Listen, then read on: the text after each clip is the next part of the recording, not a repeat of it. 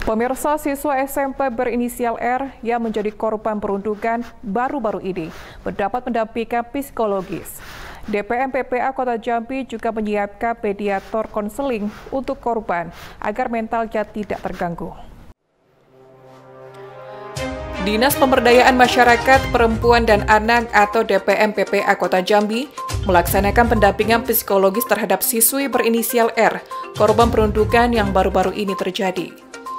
Kepala Dinas DPM PPA Kota Jambi, Doverintiwi Dewanti mengatakan, pendampingan psikologi tersebut untuk mengetahui kondisi korban, kemudian juga menjaga mental korban agar tidak trauma. Pihaknya akan melakukan pendampingan hingga psikologi korban kembali stabil, termasuk menyiapkan mediator konseling untuk korban.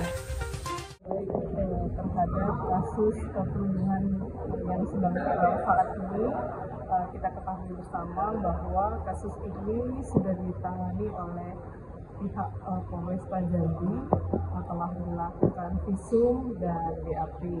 Uh, dijadwalkan pada hari ini adalah uh, pemanggilan pelaku terhadap 8 orang pelaku sudah dilayangkan surat panggilan mungkin hari ini juga berproses di Polresta dari pihak pemerintah Kota Jambi dalam hal ini DPR PPA kami melakukan pendampingan baik oleh mediator maupun oleh uh, pengacara dari DPM PPA.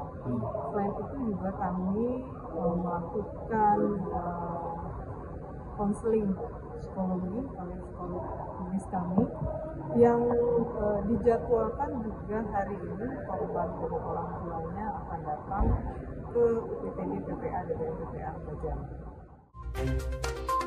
Diharapkan kasus perundukan tidak lagi terjadi di kota Jambi. Kemudian masyarakat diminta untuk melaporkan ke instansi atau dinas terkait. Heru Syaputra, Cek TV melaporkan.